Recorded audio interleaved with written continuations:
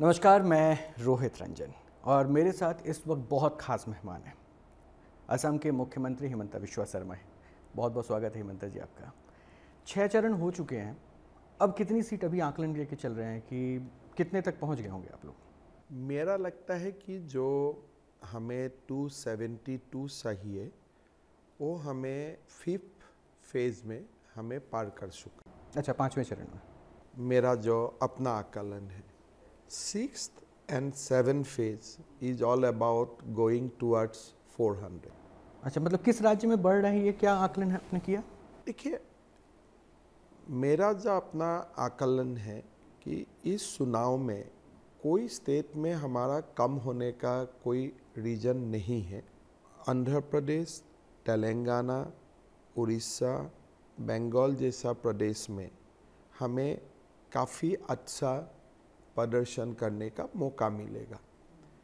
तो कुल मिला के हमारे जो लास्ट टाइम का स्ट्रेंथ था उससे हमको साउथ से इजाफा मिलेगा और ईस्ट इंडिया से हमें इजाफा मिलेगा। आपके चौदह में से कितने सीट असम में?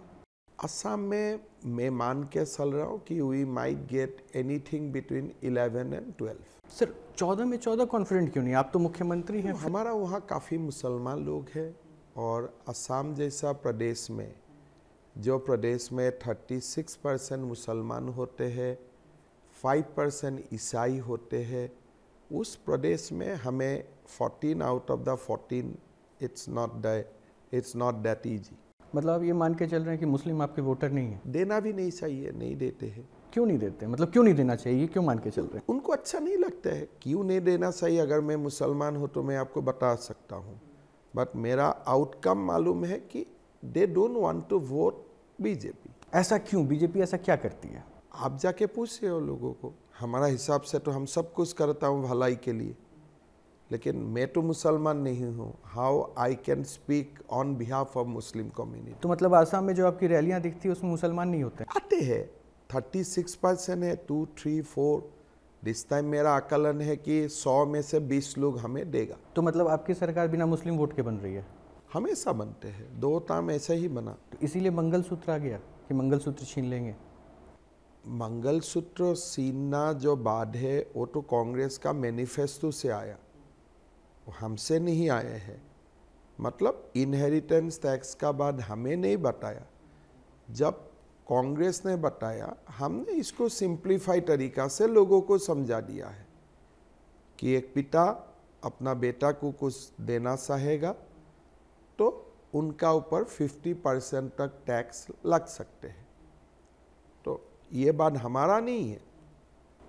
तो मतलब कांग्रेस डरा रही है मुसलमान को आप नहीं? नहीं कांग्रेस ने सबको डरवाया। मुसलमान को तो कभी नहीं डरवाता है। लेकिन हिंदू को ज़रूर डरवाता है। यानी कांग्रेस शासनकाल में हिंदू डरा हुआ था? एकदम हंड्रेड परसेंट अब आपके शासनकाल में हिंदू नहीं डरा है? हिंदू जगह है अभी। लेकिन आरोप तो यही लगता है कि आप हिंदुओं को डरा रहे हैं कि आपका मंगलसूत्र छीन लिया जाएगा। कांग्रेस ऐसे मैनिफेस्टो में कहीं कुछ नहीं लिखा है।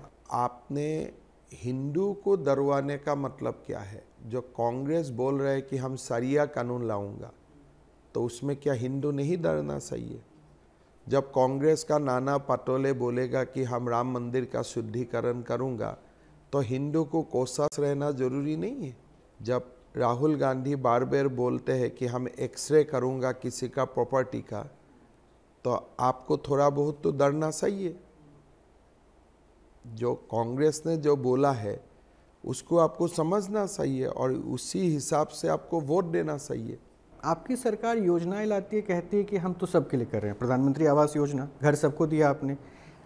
राशन बांट रहे हैं आप सबको दे रहे हैं। फिर आप कॉन्फिडेंट नहीं हो पाते हैं कि मुस्लिम में वोट नहीं कॉन्फिडेंट जो हकीकत है मैं आपको कैसे बोल सकता हूँ जो नहीं है।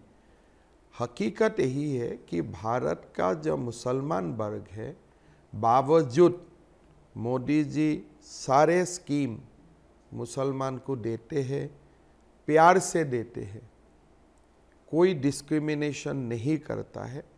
बावजूद भारत का मुसलमान लोग, मोदी जी को या बीजेपी को जो सपोर्ट करने का जो एक दिखाई देता है, अभी भी वो दिखाई नहीं देते हैं। लेकिन मैं ये नहीं बोलूँगा कि कोई नहीं देते हैं। जैसे मैं असम में बोला कि 20 परसेंट लोग हमें देगा।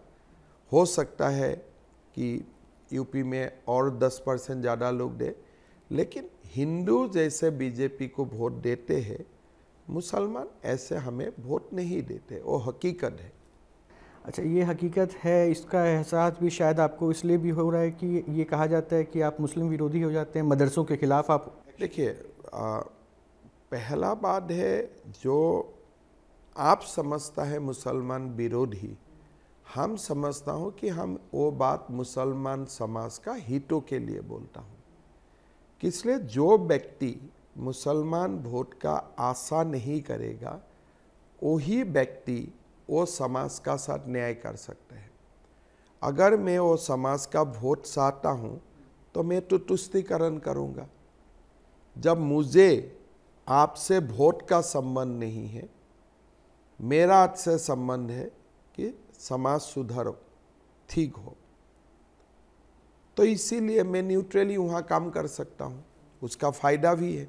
नाम बदल देने से फ़ायदा हो जाता है। आपने बहुत नाम बदल दिए। ज़रूर फ़ायदा होते हैं। ये एक साइकोलॉजिकल इम्पैक्ट हो जाते हैं कि आपका देश में वही नाम होना चाहिए जो भारत का एनवायरनमेंट को सूट करते हैं।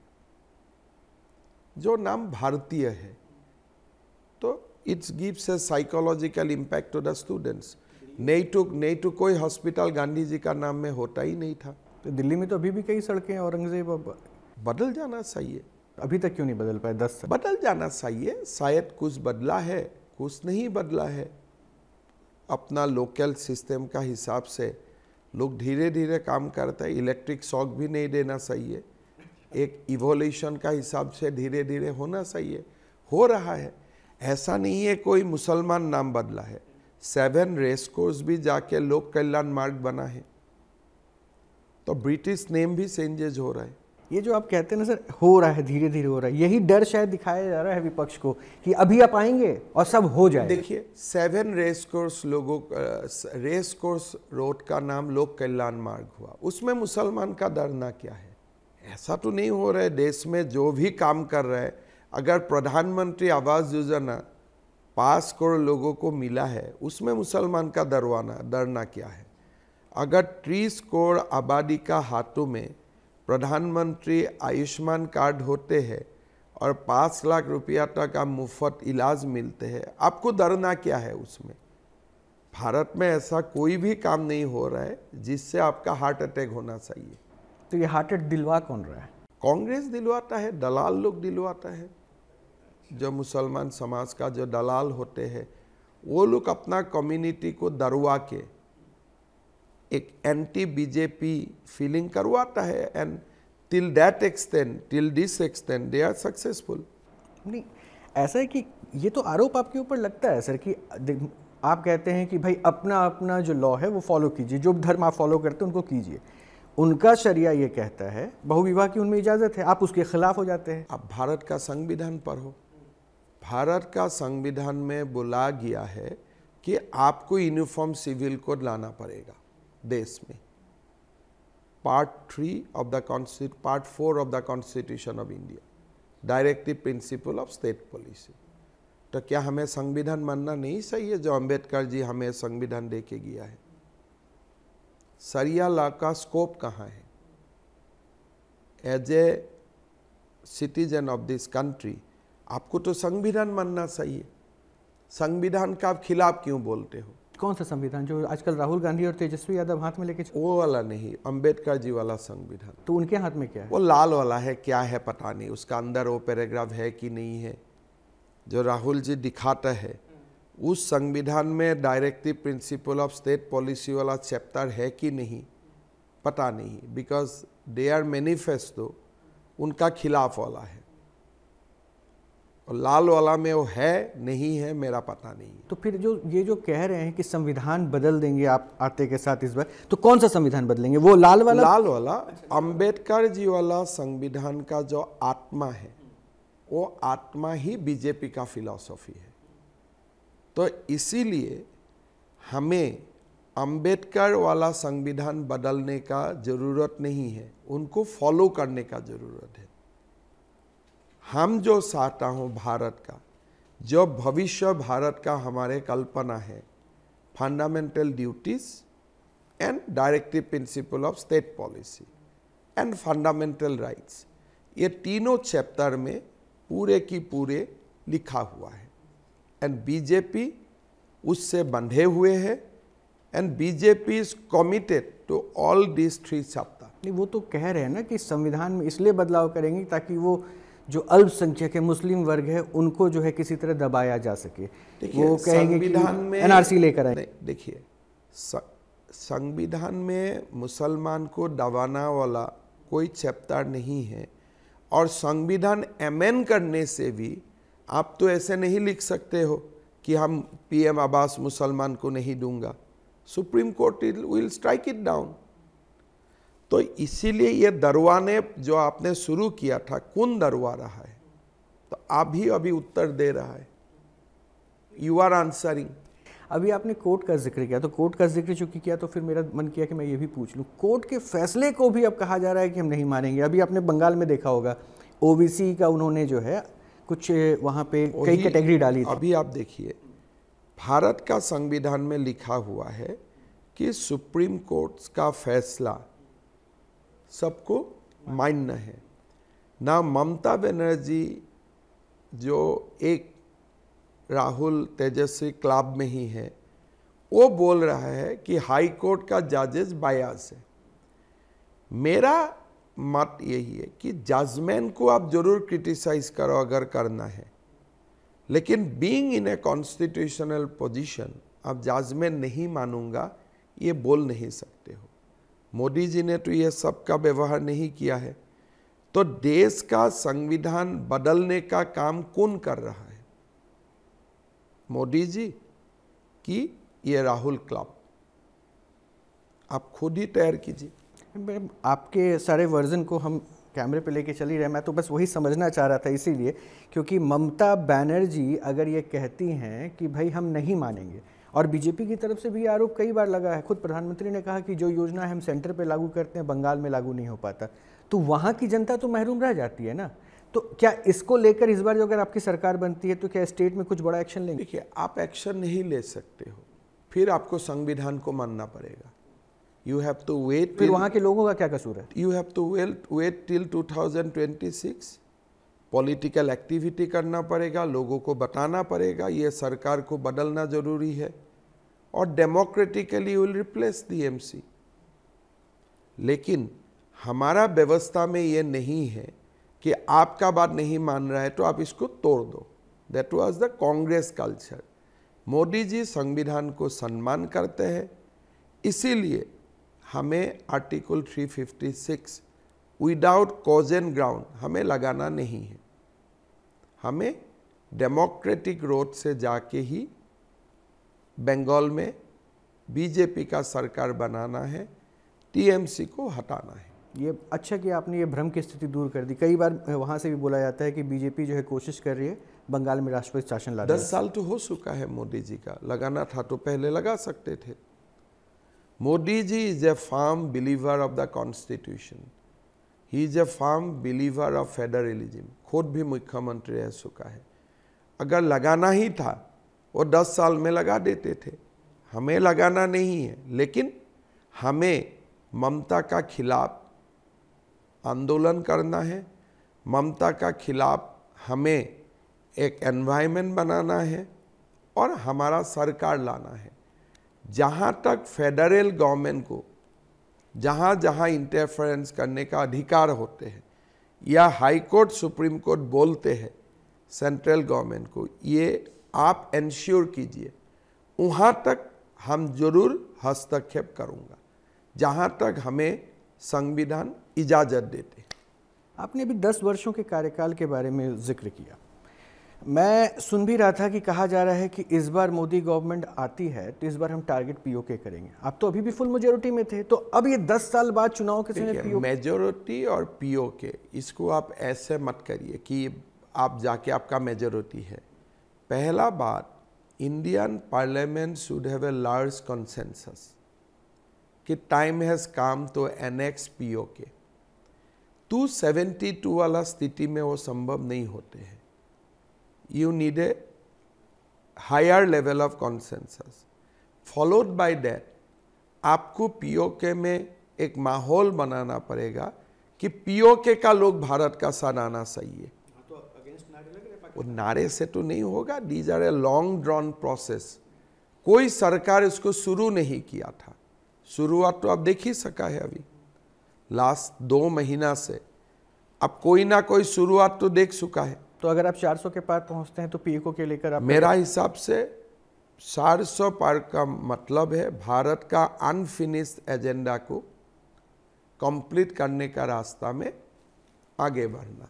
अगर मैं आपसे ये पूछूँ मतलब जानकारी लेने के लिए कि फुल मेजोरिटी जिसे आप कहते हैं कि हम 400 पार दो सौ बहत्तर नहीं 400 पार के पास जाते हैं एक मेजर मेजोरिटी लेकर तो क्या कुछ अब आपकी सरकार लेकर आने वाली इंप्लीमेंट करनी जिसको वो खतरा बता देखिए पहला बात दे हैव मोदी जी का मन में क्या है? I cannot speak on his behalf but जैसे गृह मंत्री जी का स्टेटमेंट है कि पीओ के हमारा है। तो I see a shining point there कि एक वहाँ में एक है मतलब। उम्मीद है किस लिए? गृह मंत्री जी, देश का गृह मंत्री खुद बोल रहा है। Then again during the Congress period एक बिल पास किया हुआ है कि भारत का कोई कोर्ट और कोई कानून मथुरा और काशी में कारोबार नहीं कर सकते हैं। Now that act need to be repeal I see a shining point there with 400 plus फिर यूसीसी उत्तराखंड सरकार ने लाया है। देश में लाना है। I see a shining point there देश का इकोनॉमी हमें पासवा से थर्ड जाना है।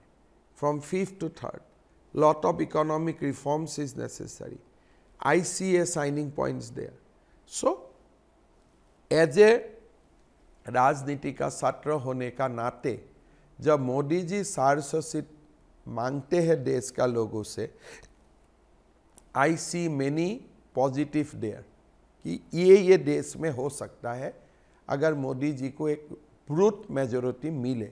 हमारा पार्लियामेंट में। ये मेजोरिटी के बीच में आपने मथुरा और काशी का ज़िक्र किया। तो ये तो अब सारा फैसला तो कोर्ट में है। आपने एक एक रैली में कहा था कि 400 पार हुए तो हम मंदिर वहाँ पे बनाएँगे। तो क्या कोर्ट के अगेंस्ट जाके बनेंगे? कोर्ट भी आपको इजाज़त दे सकते हैं पार्लियामेंट भी बना सकता है। तो ऑलवेज भारत में जो भी काम करना है आप बाई फोर्स तो नहीं करेगा। या through judicial action through legislative action साठ सौ सीट मिलने से लेजिस्लेटिव एक्शन का रास्ता खुल जाते हैं। अच्छा तो मतलब आप ये बता रहे हैं कि 400 पार होंगे तो आपके एजेंडे में मथुरा और काशी मंदिर का निर्माण प्रधानमंत्री नहीं हूँ। नहीं आप एक मुख्यमंत्री राजनीति ने असम का मुद्दा होने से मैं आपको बोल देता था मैं ये करने वाला हूँ। आप मुझको पूछ सकता पूछ रहा है कि क्या क्या हो सकता है। मैं आपका साथ शेयर कर रहा हूँ कि ये सब हो सकता है। लेकिन मोदी जी जो फास्ट एड्रेस करेगा as a prime minister he may give us a completely different list कि आप जो बोल रहे हैं, मैं यही नहीं करने वाला हूँ, मैं कंप्लीटली अलग करने वाला हूँ। तो यू नेवर नो बट हमारे एक सिस्टम से अंदर का लोग होने का नाते जब मैं प्रयास करता हूँ कि देश से मोदी जी साढ़े सौ सीट मांग रहा है तो क्यों मांग रहे तो मेरा पास दिस आंसर्स कम कि ये उत्तर आते हैं मेरा दिमाग में। लेकिन Modi ji might present a wholesale different idea who knows नहीं क्योंकि देखिए एक सनातनी आपको सुनता है योगी आदित्यनाथ को सुनता है और सनातनी को उम्मीद बनती है कि हाँ ये सुनने वाले हैं। तो इसलिए मथुरा और काशी इसलिए जा जान के पूछ रहा हूँ क्या उम्मीद बाँध के रखे। मैं वही उम्मीद बाँध के रखा हूँ लेकिन वो मैं मैं बोल रहा हूँ it is about me but प्रधानमंत्री जी का मन में मेरे से भी और कोई गुना बड़ा बात हो सकता है। बहुत बड़ा भीषण हो सकता है। मेरा तो भीषण बहुत छोटे है। So I can see this four point immediately some positivity in POK Mathura Kashi uniform civil code बड़ा फैसला इकोनॉमिक फ्रंट में। ये सारे पास चीज़ें मैं देख सकता हूँ कि मुसलमान रिजर्वेशन बंद हो बंद हो जाए in the name of OBC ये पास से बाद जो मोदी जी का भाषण है, गृह मंत्री जी का जो भाषण है, उससे मैं वो सब निचोड़ निकाल सकता हूँ। But who knows Modi ji? He might have a completely different idea बिल्कुल सही कह रहे हैं कि उनका विज़न कुछ हो सकता है, अलग होगा, लेकिन ये भी आप मानिएगा कि आप जहाँ जाते हैं, भीड़ आपको देखना चाहती है, सुनना चाहती है और आपकी बातों का असर होता है। इसीलिए कई बार कहा भी जाता है जो मीडिया के गलियारे में चर्चा भी होती है कि मोदी जी को तो लोग लाइक कर रहे हैं पब्लिक से जब हम मिल रहे हैं। लेकिन हेमंता विश्व शर्मा जब बोलते हैं या फिर योगी आदित्यनाथ जब बोलते हैं तो ऐसा लगता है कि वो सीधे सीधे जो है एक वर्ग विशेष के खिलाफ बोल देते हैं इसलिए वो दूर चले जाते हैं। ऐसा क्यों हो जाता है? वो बात अलग है। वर्ग विशेष का खिलाफ आप, मत बोलो। बोलना भी नहीं चाहिए। लेकिन जो सत्य है द ट्रूथ भारत में किसी को सच बोलने का साहस करना चाहिए। कि आप मद्रासा बंद करो डॉक्टर इंजीनियर बनाओ। It is not against community it's a good advice तो ये बोलने में आपको दिक्कत नहीं होना चाहिए। चार चार शादियाँ करना, ये कोई कम्युनिटी के लिए गोल्ड मेडल नहीं है। नबी खुद बोल के गया है। कि before marrying the four you have to take permission from the first from the second from the third it is not a uncontrollable rights ये रेस्ट्रिक्टिव राइट है।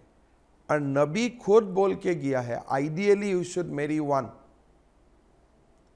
तो यही बात, अगर after reading the Islamic philosophy अगर आप बोलते हो तो उसमें खराबी क्या है? किसी को तो बोलने का साहस होना चाहिए। बट यू डोंट कॉन्ट्राडिक नबी यू डोंट कॉन्ट्राडिक कुरान ये मेरा काम नहीं है। आप वो बोलो जो कुरान भी आप इजाज़त देते हैं करने के लिए। आप कुरान का खिलाफ मत जाओ। Then the Muslim people will be hurt कि ये कौन होता है? मेरा धर्म ग्रंथ का खिलाफ बोलने के लिए। And I do not expect Muslim to speak about Gita तो वहाँ तक हमें एक पॉइंट ऑफ़ गुडविल रहना चाहिए। लेकिन जो कुरान का बातें है और कुरान का बात का ही प्रॉपर इंटरप्रिटेशन से जगत का कल्याण होता है, उसका बारे में आप बोलो ना, उसमें मुश्किल क्या है? ऐसा क्या है कि आप सच बोलते हैं स्ट्रेट फॉरवर्ड बोलते हैं, इसलिए शायद आप निशाने पे आ जाते हैं, इसलिए आप देखो, मेरा तो तकलीफ़ नहीं है ना, मेरा निशाने में आने से मुस्का, मेरा तो कोई निशान निशान नहीं है। मैं तो बिना सिक्योरिटी, असम में मुसलमान लोगों का मैं घर में चला जाता हूँ। I don't feel I am under pressure TV में निशानों से मेरा क्या तकलीफ़ होते हैं? किसी से तकलीफ़ नहीं है। टीवी से हमारा क्या तकलीफ़ है? हमारा तकलीफ़ है इफ़ यू फील समथिंग मैं तो कुछ फील नहीं करता हूँ तो मेरा तकलीफ़ कहाँ से है? अच्छा, राहुल गांधी को लेकर क्या सोचते देखिए बेकार का व्यक्ति है। कोई इंटेलेक्चुअलिटी नहीं है कुछ मेच्योरिटी नहीं है कुछ भी नहीं है। ऐसे एक अनाप शनाप अनारी व्यक्ति को आप भी पूछते हो वो भी पूछते हो देश का क्या हो गया है पता नहीं है मेरा। कांग्रेस पार्टी पूरी राहुल गांधी वही है, मैं कभी कभी सोचता हूँ क्या हो गया है देश का। कोई ना डोमेन नॉलेज है, कुछ है, नहीं, मैं टी शर्ट पहन के रहता हूँ। That's the big thing Gandhi ji भी खाली कपड़े में थे but Gandhi ji preach, ahimsa also beyond that Gandhi ji नहीं बोलते थे कि मुझको सम्मान करो, कारण मैं कपड़ा कम पहनता हूँ। गांधी जी बोलते थे भाई I have give you the philosophy of ahimsa उसको फॉलो करो। गांधी को फॉलो मत करो। लेकिन हमारा कांग्रेसी लोगों ने टी शर्ट को फॉलो करते। मेरा दिक्कत है कि भाई जो व्यक्ति टी शर्ट को ही दुनिया मानते हैं उस व्यक्ति का व्यक्ति को लेके अगर भारत का अपोजिशन बनते हैं देश के लिए दुर्भाग्य है। नहीं मैं इसलिए पूछ रहा हूँ आपसे क्योंकि राहुल गांधी को लेकर आपके बयानों में हमेशा विवाद रहा। कभी आप उनका उनको सद्दाम हुसैन से कंपेयर कर जो है तो होता है मैंने सद्दाम हुसैन से कंपेयर कभी नहीं किया हूँ। मैं बोला तुम देखने में सद्दाम हुसैन लग रहा है। दाढ़ी तो काट लिया मेरा बात से। और दाढ़ी काटा तो फिर आप उसे बेबी बुलाने लगे। पूरा काटने से ही लुक्स लाइक ए बेबी अभी इसीलिए बीच में सल सल रहा है। अच्छा इसलिए अभी वो हाँ वो तो मेरा बन मानते हैं। अच्छा तो मतलब आपसे अभी टिप्स ले रहे हैं आपसे आप लोगों को जो भी मैं बोलता हूँ दो महीना का बात देखो वो मानते हैं। मेरे लिए मानते हैं और मेरा बात सुन के और कोई दूसरा उनको एडवाइस देते हैं I I am I have nothing to say but जब मैंने बोला सद्दाम हुसैन जैसा लगा था क्लीन सेफ़ किया। मैंने बोला अभी you are looking like Amul baby अभी और थोड़ा सेफ़ में आ गया। तो ऐसा तो नहीं कि वो कांग्रेस वाले जो कनेक्शन है आपका वो अभी भी वहाँ पे टेलीपैथी चल तो थ्रो यू हो सकता है टीवी में कि इसलिए मैं बोलते हूँ। मैं तो मिलता नहीं हूँ बात भी नहीं होते हैं। मैंने राहुल गांधी को बुलाओ बोला कि चुनाव का वक्त असम मत आना। नहीं आया वो। अच्छा। ये आपने उनको सजेशन दिया मैंने माइक मैंने बोला कि आपने इस बार सलाह किया है चुनाव का बाद मैं आपको बुलाऊँगा। चुनाव का बीच मत आओ। वो नहीं आया। अभी मेरा बात मानते हैं नहीं मानते उनको जाके आप पूछो। अगर आपसे बात करते हैं। नहीं आपने एक मैंने आपके बयान को पढ़ा था। आपने कहा कि राहुल गांधी सोनिया गांधी के भी को भी नहीं मानते उनकी बातें नहीं मेरा बात आप कहते हैं आपके बात मान कुछ कुछ टिप्स मेरे से लेते हैं। बात मानने थे मैं क्यों बोलूँगा? बात मानने से उसको तो मैं बोल देते थे शादी उदी करो घर संसार बनाओ, जो प्रियंका गांधी भी बोल रहे थे as a well wisher I would have guided him more but थोड़ा एक दो बात टिप्स शायद मान लेते हैं। लेकिन पूरा बात मानने से तो मैं बोल देते थे कि माँ का कष्ट हो रहा है। शादी आदि करो, एक नॉर्मल लाइफ जियो। लेकिन वो तो बात मेरा मानेगा नहीं। So I can say that he listen to me in hundred percent चलिए न्यूज़ नेशन पे आपने बहुत बड़ी बात कह दी है कि राहुल गांधी अभी भी जो इनकी बातें मानते हैं। दो टू एग्ज़ाम्पल मैंने आपको दिया। ऐसा बहुत एग्ज़ाम्पल है लेकिन आपका समय कम होगा। नहीं मैं समय तो सर आपसे ले लूँगा थोड़ा सा और भी क्योंकि एक, एक आध दो बात और भी मुझे जानना है। आपको क्या लगता है कांग्रेस में फिर विजन किसके पास है?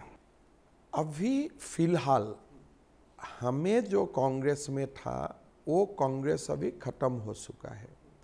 Now Congress has been hijack by the left and NGO people.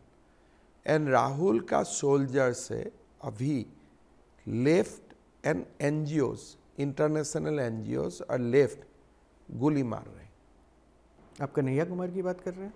Kanhaiya Kumar छोटे व्यक्ति है। दीज आर सिस्टम जब मैं इंटरनेशनल एनजीओ का बात करता हूँ तो खाली जॉर्ज सोरेज ही नहीं है। एक सिस्टम होते हैं। आप बराबर आप विश्वविद्यालय में भारत का खिलाफ सेमिनार भारतीय लोग ही डरा। हमेशा आते रहते हैं। Then even within the nation also जो भारत का तरक्की नहीं चाहते हैं। Then you have a left people whose ideology is something different from you now Congress party centre से दे हैव टर्न लेफ़्ट और जो विपक्षी दलों का एक पूरा गठबंधन बना है इंडिया अलायंस उसमें कोई चेहरा दिखता है? उसका क्या है? आप देखिए मैं सरसा कर सकता हूँ लेकिन आप ये पार्टी को देखो। तेजस्वी यादव भी लड़ेगा तेज प्रताप भी लड़ेगा रोहिणी भी लड़ेगा मीसा भी लड़ेगा। ये पता नहीं हमारा देश का और मीडिया भी वही लोगों को दिखाएगा। तो देश का कलेक्टिव कॉन्शियंस कि एक व्यक्ति चार पाँच छः लोगों को लड़वा देते हैं चुनाव में in the name of their community कि मैं जादव का, अस्मिता के लिए लड़ाई लड़ रहा हूँ। मैं मुसलमान को प्रोटेक्ट करने जा रहा हूँ। फ़ायदा किसका हो रहा है? तो ये देश का कलेक्टिव कॉन्शियंस को जो अफेक्ट करता है। आज देखो अगर मैं असम का सीएम हूँ। मैं अगर मेरा से परिवार का सदस्य को खड़ा कर देता हूँ you will go and you will criticize me left and right but Bihar में जाके वो अब तो से परिवार का सेयुजन का अब 26 घंटा का प्रोग्राम करेगा कि देखो इट इज़ एम्पावरमेंट मॉडल लेकिन आम आदमी पार्टी तो आम लोगों को खड़ा करती है उससे भी आपको दिक्कत हो ईडी भेज देते हैं जेल भेज देते हैं। आम आदमी पार्टी का तो शुरुआत हुआ है। केजरीवाल जी ने तो अपना वाइफ को तो उतारा दिया ना पॉलिटिक्स में। ना ये तो party is new you watch them for another five ten years इसलिए सेकेंड जनरेशन आने का उनका समय नहीं हुआ है। This is a party of first generation आप पाँच से दस वर्ष कह रहे हैं देखने के लिए जिस हिसाब से आप एक्शन ले रहे हैं उनके नेताओं को अरेस्ट किया जा रहा है लगता है कि पाँच से दस वर्ष बच पाएगी पार्टी के पास? ये ऐसा जो एक पार्टी है पार्टियाँ तो कहीं ना कहीं रह जाते हैं because we are not against party कोई लोगों का खिलाफ केस है कारोबारी हो रहा है कल मेरा खिलाफ भी केस होगा एक्शन होगा। बट जब आप फैमिली लीनियस का बात करता है time has not come to discuss about AAP because AAP अभी भी फ़र्स्ट जनरेशन लोगों से ही चल रहा है सेकेंड जनरेशन आने का जब समय होगा तब देखा जाएगा I don't want to criticize today but early indication of Sunita Kejriwal आपको यही दिखाई देता है कि they may not be a party with difference जब परिवारजनों का बाद आते तो दिल्ली में आपकी चुनौती नहीं है? केजरीवाल के आने से कुछ नहीं बदला? ये चुनाव में मोदी जी का सामने चुनौती नहीं है बट देश का सामने चुनौतियाँ है। आज अगर आप दिल्ली कैपिटल को Mohalla clinic become your signature projects तो अब देश का प्रॉब्लम है उसमें। इसलिए न्यूयॉर्क एंड लंदन काफ़ी आगे बढ़ चुका है। टोक्यो बहुत आगे बढ़ चुका है। तो भारत का विथ थर्ड लार्जेस्ट इकोनॉमी आपका कैपिटल है दिल्ली, और आप विदेश से आने से लोगों को आप मोहल्ला क्लिनिक दिखाओ। तो ये प्रॉब्लम है मेरा। यही तो प्रॉब्लम बता रहा है विपक्ष की प्रधानमंत्री नरेंद्र मोदी के सामने जो प्रॉब्लम उनको लगता था कि ये जो बड़ा कद हो गया उनको ही जेल के पीछे किसी आरोप मोहल्ला क्लिनिक का जगह में मेडिकल कॉलेज बनना चाहिए था। वो नहीं बना। In spite of sixty thousand crore rupees budget आपको क्या चाहिए था कि दिल्ली में हर मोहल्ला क्लिनिक का जगह में एक मेडिकल कॉलेज बने। And they have that capacity वो हमारा प्रॉब्लम है कि आप एम से ही शुरू करो but not Mohalla clinic medical college आप नहीं कर पा रहा है and this is my biggest anxiety आप दिल्ली आने से लोगों को मोहल्ला क्लिनिक दिखाने ले जाते हो। कम से कम आसाम आने से हम सस्ता करता हूँ आपको कोई सुपर स्पेशलिटी हॉस्पिटल ले जाने का, कोई मेडिकल कॉलेज ले जाने का। छोटे प्रदेश है बट हमारा एफोर्ट ओ रहता है। अच्छा एक सवाल ये बताइए सर यूपी में अखिलेश यादव हैं। अभी बिहार में कास्ट सेंसस करवाया गया नीतीश कुमार भी साथ में थे। और ये राहुल गांधी भी कह रहे हैं कि कास्ट सेंसस हम करवाएँगे। आप कह रहे हैं कि हम हिंदू जो भी है धर्म में नहीं सिर्फ़ जातियों में नहीं हम धर्म के आधार पर बात करते हैं। तो क्या ये कास्ट सेंसर आपके हिंदुओं को इकट्ठा करने के तौर पर चुनौती मानते हैं caste census Janata Dal you सरकार ने किया। जब वो एनडीए में था। बिहार का कॉन्टेक्स में कास्ट सेंसस किसने करवाया? बीजेपी एंड नीतीश जी ने किया। इसमें तेजस्वी का कोई श्रेय नहीं है। नहीं। वो समय सरकार का जो निर्णय हुआ कास्ट सेंसस शुरू हुआ जनता दल और बीजेपी सरकार का ये फैसला है। ये कोई तेजस्वी का तेजस्वी ले रहे हैं आप कह रहे हैं। बिहार में सब जानते हैं। कोई आपका जानकारी का सुविधा हो तो यू कैन चेक गूगल वो तो तुरंत हो जाएगा। लेकिन हमारे जो मेरा मान्यता है अक्रॉस द बोर्ड आपको कास्ट सेंसस नहीं चाहिए। जैसे Assam it is a casteless society आप वहाँ जाके सेंसस करके क्या फ़ायदा मिलेगा? Bengal it's a casteless society वहाँ आपका सेंसस करके क्या फ़ायदा होगा? Orissa is a casteless state वहाँ आप कास्ट सेंसस करके क्या करेगा? लेकिन बिहार, झारखंड में इट माइट बी रिक्वायर्ड उनका सोशल कॉन्टेक्स्ट में। तो इसीलिए भारत जैसा प्रदेश में आपका जो पॉलिसीज़ होगा स्टेट वाइज होगा। सेकंड हमारा प्रदेश में क्या ज़रूरत है? Caste census within Muslim जो डिमांड भी है उनका कम्युनिटी से। तो मेरा जो मानना है कहीं में you need caste census among Hindu कोई प्रदेश में आपको कास्ट सेंसस चाहिए ऑन मुस्लिम कोई प्रदेश में आपको दोनों सेंसस का ज़रूरत नहीं है. सो so, इसीलिए आप निर्णय लीजिए सोच समझ के लीजिए.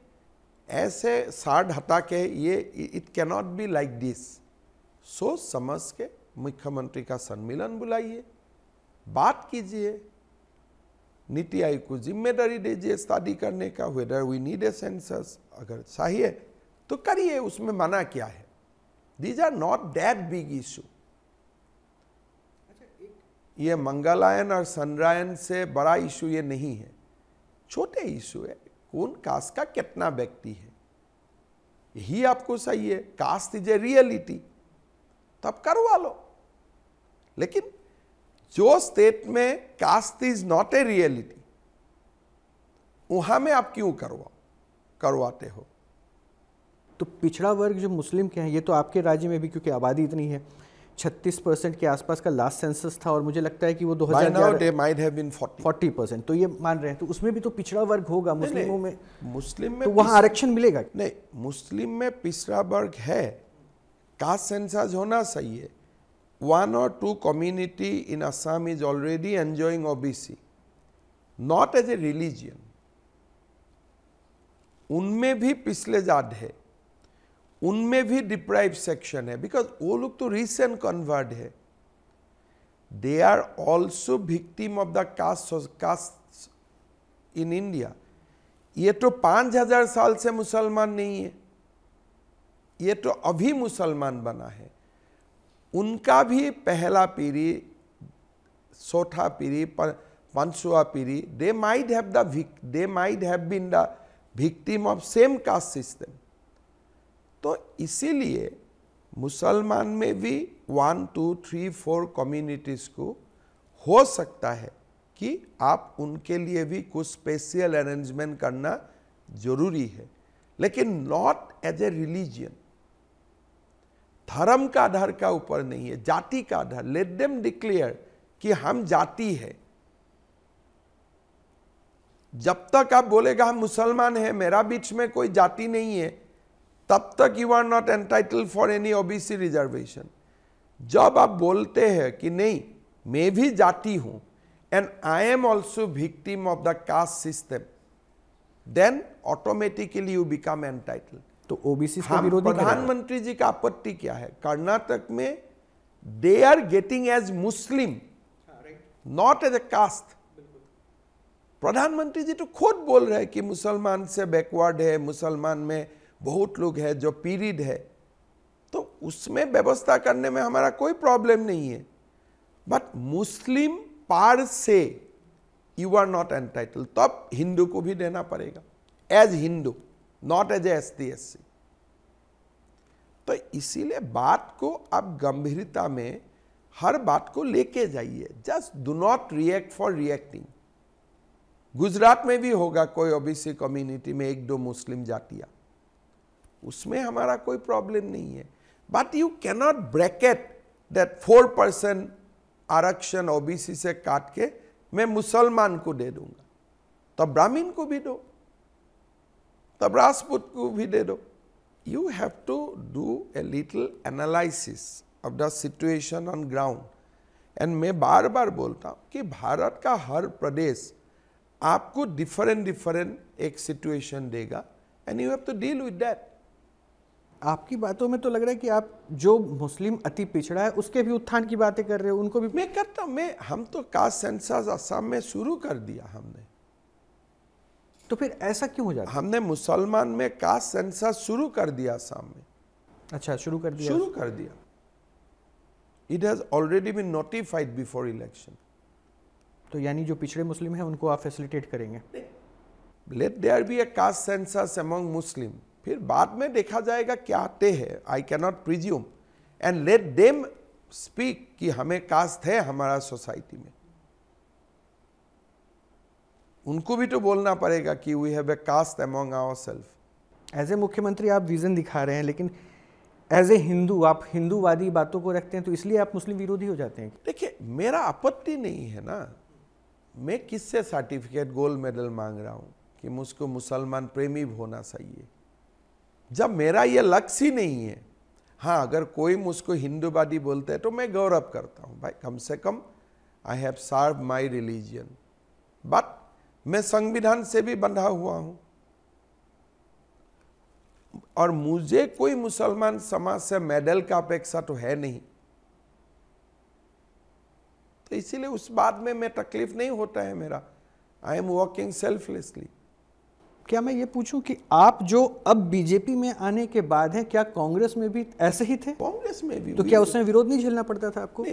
कांग्रेस में वो समय Congress was a centrist party तो इसीलिए बाय एंड लार्ज मैं जो भाषा बोल रहा हूँ, संविधान का भाषा बोल रहा हूँ।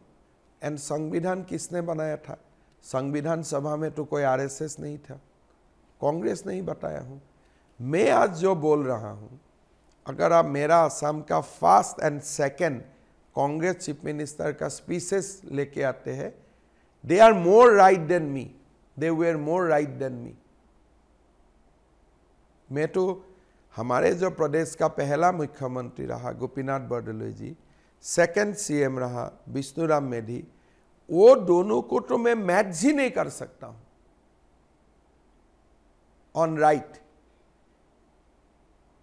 and that was the Congress in Assam because हम सीमाओं में रहते हैं, हमारा फोर फादर्स और हमारा पहला first second third generation of Congress leaders वो लोग हमेशा घुसपैठियों का बात करते थे। दे वेर अवेयर कि असम में एक दिन हम लोग माइनॉरिटी बन जाएगा।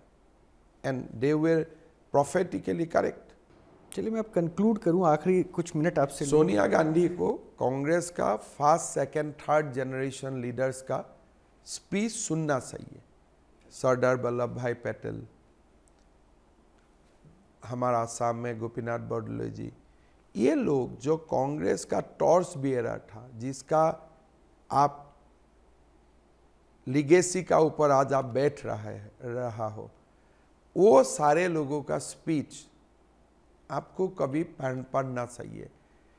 राजीव गांधी और इंदिरा गांधी, ये लोग कांग्रेस का आइडियोलॉजिकल फादर्स नहीं थे।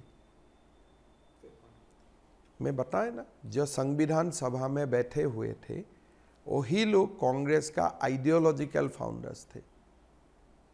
तो उनका स्पीच उनका बातें उनका जीवन शरीर आपको कभी पढ़ना चाहिए तभी गलती से आप नहीं बोलेगा कि मोदी एंटी मुस्लिम है राहुल गांधी और कोई भी कांग्रेस का नहीं पढ़ता है। पढ़ने से ये सब बात बात बोलते ही नहीं था। जो असम का कांग्रेस किसने फाउंडिंग किया? वही फाउंडिंग फादर्स का स्पीच मैं विथ एडिट बोल रहा हूँ। किसलिए मेरा हिम्मत नहीं है सौ की सौ बोलने का। तब लोग बोलेगा, ये बहुत बड़ा कॉम्युनियल है। जो गोपीनाथ बोडलोई जी को भारत रत्न मिला है विश्वराम मेधी को ये हमारा असम का लोगों में श्रद्धा से उनका नाम लिया जाते हैं। वो लोग दोनों का स्पीच कभी मैं असेंबली में पढ़ता हूँ विदाउट टेलिंग कि मेरा लाइन से मैं वो पढ़ देता हूँ। फिर कांग्रेस लोग हल्ला करते हैं कि आप इतना कॉम्यूनियल है। फिर मैं बोलता हूँ, बाबा, ये मेरा लाइन्स नहीं है, ये तो मैं बॉर्डरलाई का स्पीच पढ़ रहा था। तब वो लोग ठंडा हो जाते हैं। तो मतलब आपने ये फॉलो किया तब आप कांग्रेस से बीजेपी में अगर अब जो बीजेपी में आ भी मेरा कोई तकलीफ़ नहीं है अच्छा अब जो आ रहे हैं कांग्रेस छोड़कर वो भी इन्हीं को फॉलो कर रहे हैं उनको समझ में आने लगा। दूसरा का I cannot speak on others behalf लेकिन मैं जो कांग्रेस में जो किताब पढ़ा था अभी भी वही पढ़ता हूँ। अच्छा लेकिन वो नहीं समझ पा रहे आपने समझ लिए प्लेन असामीस में है अगर वो नहीं समझ पाते तो उनका प्रॉब्लम है। कोई तो ये सब तो डॉकेट्स नहीं है ना कि डी मिस्टिफाई करना है उनका डुअल इंटरप्रिटेशन है। ये सब का तो कोई डुअल इंटरप्रिटेशन है ही नहीं। These are plain language plain prophetics words कि असम में चालीस परसेंट मुसलमान हो जाएगा। हो गया। चैलेंज मानते हैं? बहुत बड़ा चैलेंज है। We are verge of becoming minority बहुत बड़ा चैलेंज हिंदू माइनॉरिटी हो जाएगा वहाँ। हिंदू ने असामीज मूल उसमें मुसलमान भी है। हिंदू और मुस्लिम का खेला नहीं है। ये है local Assamese versus infiltrators local Assamese में हिंदू भी होते हैं मुसलमान भी होते हैं। उसको आपने नहीं रखा कि वो आसामी इज़ आसामी। उसमें उनको चुनौती जो बाहर हाँ हाँ दे आर विथ अस तो क्या ये सरकार अगर बनती है आपकी तो उनको लेकर कुछ और मास्टर प्लान होगा? हम लोग हर दिन we fight for our existence हर दिन सुबह कुछ ना कुछ करते ही रहता हूँ, दिन रात। Because it is a battle for survival for us हमें ज़िंदा रहना है। और इसीलिए हम लोग, आज अगर मैं आपको बोल रहा हूँ कि 12 सीट में मिलूँगा 11 सीट मिलूँगा मतलब 50 परसेंट पॉपुलेशन आपका नहीं है, फिर भी you are getting that kind of seats मतलब कुछ ना कुछ तो हम लोग असम में कर ही रहा हूँ। चलिए कंक्लूड करते हैं। सर, आखिरी लाइन में एक जवाब दे दीजिए। कितनी सीट दे रहे हैं एनडीए को? जो मोदी जी बोल रहे हैं 400 प्लस 400 का अराउंड प्लस ट्वेंटी भी हो सकता है माइनस ट्वेंटी भी हो सकता है। बीजेपी को?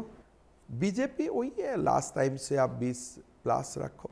370 नहीं पहुँच रहे। थ्री सेवेंटी तक एज बीजेपी जा पाऊँगा नहीं जा पाऊँगा मैं पता नहीं हूँ बिकॉज़ सीट शेयर का कितना क्या डायनेमिक्स है मैं नहीं जानता हूँ। But as N D A will be near four eight four hundred थोड़ा ज़्यादा भी हो सकता है थोड़ा कम भी हो सकता है। But once election result will come आपको साढ़ से ही रेफरेंस पॉइंट होगा प्लस माइनस बाकी आप, मेरा भी इतना पता नहीं है, महाराष्ट्र में बीजेपी कितना लड़ रहा है, या हमारा एलाइस कितना लड़ रहा है, अगर आप मुझको पूछे तो मेरा मालूम नहीं है। इसीलिए मैं बीजेपी और एनडीए को डिस्टिंग्विश करके बात करना मेरे लिए थोड़ा सा तो ठीक है सर मैं चा, मैं चार जून के बाद फिर आपसे मिलके पूछूँगा कि हाँ हाँ वो पूछना भी ज़रूरत नहीं टेलीफोन से ही हो जाता है। साढ़े सौ will be reference point will be in and around cross भी कर सकता हूँ थोड़ा कम भी रह सकता हूँ बट जो डिस्कशन होगा साढ़ सौ कार पर में ही डिस्कशन होगा। बहुत बहुत शुक्रिया सर वक्त निकालने के लिए। बहुत बहुत शुक्रिया। हेमंत विश्वा शर्मा असम के मुख्यमंत्री हमारे साथ थे आप बने रहे हमारे साथ।